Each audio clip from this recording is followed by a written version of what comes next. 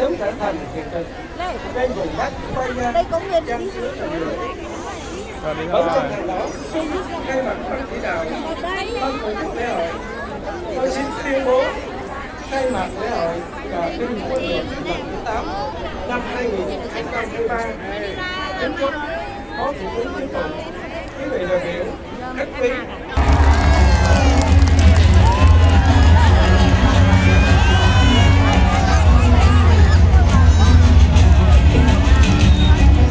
Trọng cảm ơn đồng chí Phạm Ngọc Kỳ. Kính thưa quý vị đại biểu khách quý, lễ hội cà phê quân Mê Thuột lần thứ 8 năm 2023 rất vinh dự được đón đồng chí Trần Lưu Quang, Ủy viên Ban chấp hành Trung Đảng, Phó Thủ tướng Chính phủ nước Cộng hòa xã hội chủ nghĩa Việt Nam và các đồng chí lãnh đạo Đảng, Nhà nước về tham dự và chỉ đạo. Sau đây, ban tổ chức xin được Đấy, chuẩn bị ra hát, ca sĩ lên hát